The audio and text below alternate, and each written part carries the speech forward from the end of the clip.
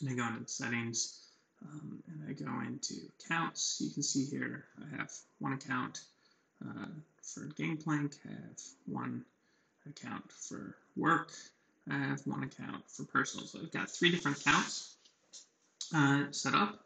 Uh, one of these is a, or two of these are Google, uh, one a personal Gmail, one a Google account, and one a Office 365 Exchange account. And so now if I were to look at those, I can then go into my calendar settings, calendars and lists, and I can create uh, various calendar sets inside of this. I can say, show me only my Gangplank, right? You can see here I have just the Gangplank items selected, right? Um, and tasks selected. If I say personal, this is going to be my Gangplank plus uh, my personal items only. And if I say StrongMind, I just want just my work items. You'll see that I just have my work items or an all or merged calendars really is going to give me my selection, right? So I just want the boxes. I don't care about, these are used to schedule um, event space, so I don't really care about those in this particular view. I only care about them in the game Gangplank view. Um, and I've got those all merged.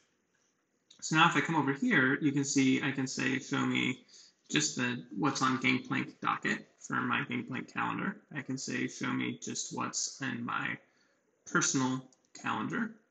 Um, and I can say, show me what's just in the StrongMind calendar, or I can say, show me what's in my merged calendar listing.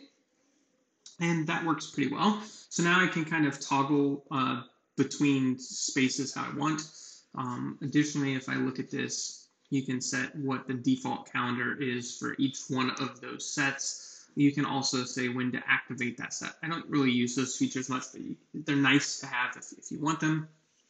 Um, additionally, if you go in and you look at, you have a fantastical account here, which means if you set all of these accounts up, those will transfer over to your fantastical account, which makes it easy to put on another machine or put on mobile just by logging in, um, which is kind of nice. Everything transfers, including your calendar sets. Um, so you might say, Okay, but how does that solve the managing multiple pieces? So let's say um, uh, I have a personal event that is happening and I'm, I'm working this Friday.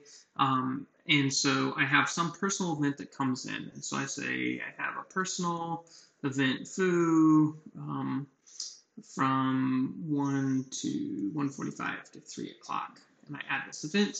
Now, if you were to go to my personal calendar, you would see it. You would not see it if you were in my work calendar. But I can simply highlight this event. I can copy it, Control C, Control V, or Command C, Command V, or you can just edit, copy, and paste. You can now see that it's created another instance of that exact event. If I take that event and now I just double click to open it and I say I want to put on my work calendar, I now have it on my work calendar and my personal calendar. It merges those two things together. So it shows as one event to me and maintains as one event to me. But for viewers of my work calendar, they would see it as busy, or viewers of my personal calendar, they would see it busy as well.